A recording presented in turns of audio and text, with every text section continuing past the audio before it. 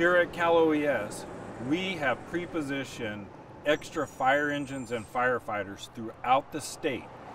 These firefighters and fire engines provide surge capacity, which allows us to put more fire engines on scene during the initial stages of a wildland fire, giving us a better opportunity to contain the fire when it's small.